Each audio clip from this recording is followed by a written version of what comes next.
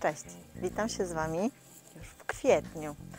Marzec troszkę nas rozpieścił pod względem pogody. Zrobiło się naprawdę super wiosennie. Większość z nas w tym okresie planuje, kupuje i sadzi nowe okazy. Dla tych, którzy stoją przed wyborem roślin na idealny żywopłot, przygotowałam dzisiaj kolejny odcinek właśnie o żywopłotach. Wcześniejszy, który wyświetli Wam się tutaj, możecie zobaczyć o żywopłocie stój, który posiadam w swoim ogrodzie.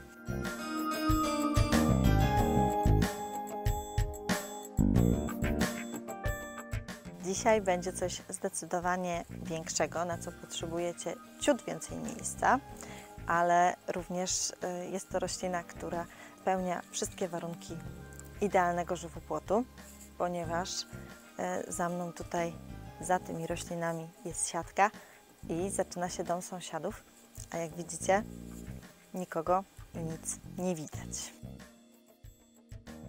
Roślina za mną, z której wykonany jest żywopłot, jest to Picea omorica, inaczej świerk serbski kłujący. Rosnący swobodnie potrafi dorosnąć nawet do 20 metrów, także naprawdę trzeba te rośliny trzymać w ryzach. Niewątpliwie jego największą zaletą jest to, że przycinany nie łysieje od dołu, czyli nie robi się taka sytuacja jak w większości iglaków, że po prostu mamy do pewnej wysokości goły pieniek i dopiero wtedy zaczyna się roślina. Jest zupełnie nieproblematyczny i samoobsługowy. Został posadzony 7 lat temu e, w odstępach 120 cm między sobą i 100 cm od siatki. Rośliny miały wówczas jakieś 1,50 m wysokości i możecie zobaczyć, że faktycznie nie były aż takie duże. Sadzone były w ziemię tą, która y, była tutaj w ogrodzie, ponieważ było tutaj nawiezione mm, bardzo dużo ziemi, żeby teren wyrównać. Y, także ziemia była taka ogrodowa, tutaj już rozsypana. Y, kopaliśmy mm, dołki i rośliny były sadzone z donic. Aby w miarę szybko osiągnąć taki efekt, jaki sobie zamierzyłam, zastosowałam styl cięcia tak zwany holenderski.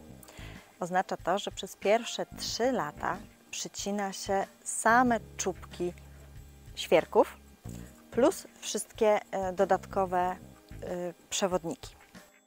W ten sposób hamujemy jej wzrost do góry, a roślina rozrasta się pięknie na boki.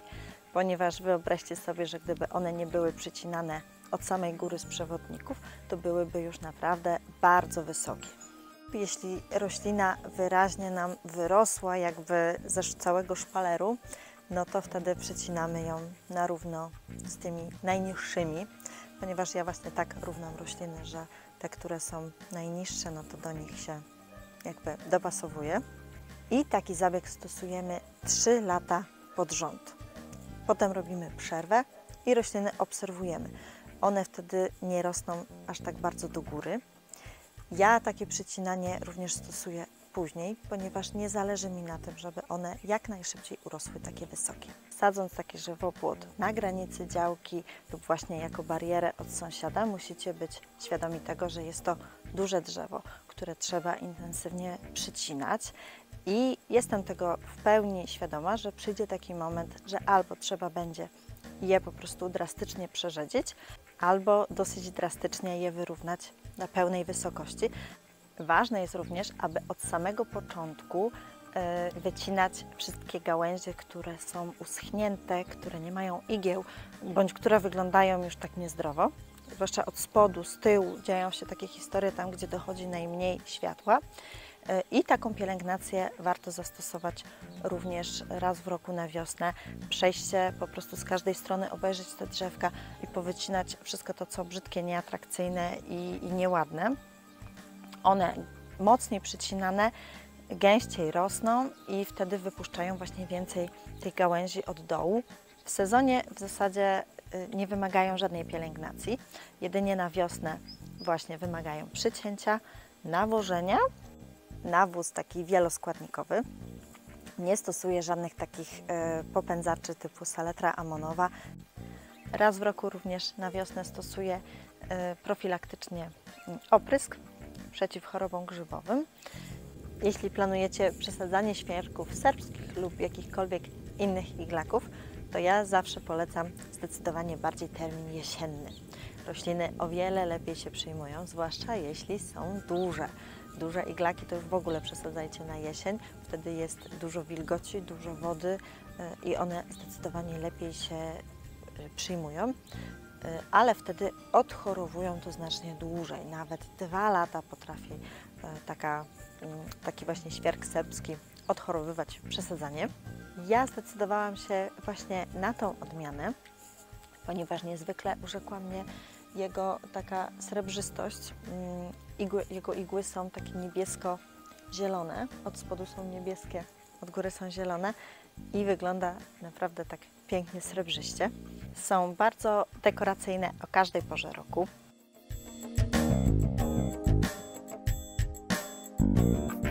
Także jeśli macie miejsce, a szukacie czegoś zamiast tui, to jest to doskonała alternatywa i doskonale się sprawdza.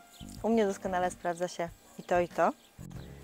Jeśli odcinek Wam się podobał, to koniecznie zostawcie po sobie ślad w postaci komentarzy i łapek w górę. Zapraszam Was również do subskrybowania mojego kanału. Pozdrawiam Was serdecznie i do zobaczenia w kolejnych odcinkach.